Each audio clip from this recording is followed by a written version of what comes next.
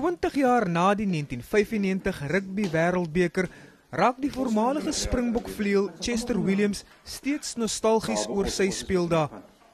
Deesdae spandeer hy sy dae agter 'n lesenaar waar sy boktrye en ander gedenkwaardighede om deurlopend herinner aan daardie tyd.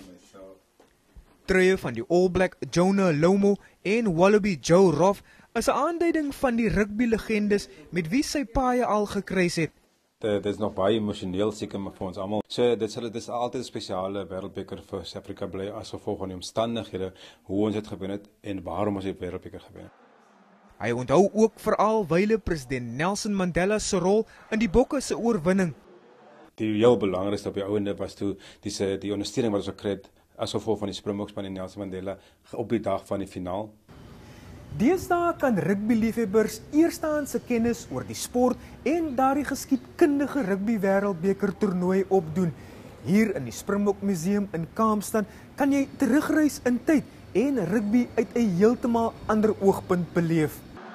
Die geskiedenis van Suid-Afrikaanse rugby is hier ook in boekformaat en elektronies aangeteken, maar dit is veral die gedeelte van die museum waar die 1995 Wêreldbeker gedenkwaardighede uitgestal word wat ekstra gewild is. Kaptein François Pinaar se destydse trui, die losskakel Joel Stransky se stewels en natuurlik 'n replika van die Wêreldbeker trofee kan ook van nader beskou word. 'n Lewensgrootte kunsbeeld van Mandela wat die Webb Ellis trofee aan Pinaar oorhandig is ook hier te sien.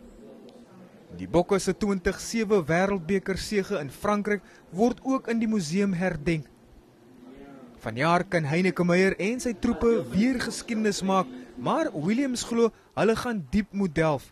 Dit is een van die drie lande wat dit twee keer al gewen het in kan Suid-Afrika hierdie jaar die die derde keer verower. Ek dink so is dit altyd 'n geleentheid in 'n Wêreldbeker.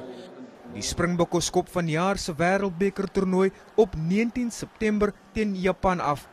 Percival Young, Eunice, Kaapstad.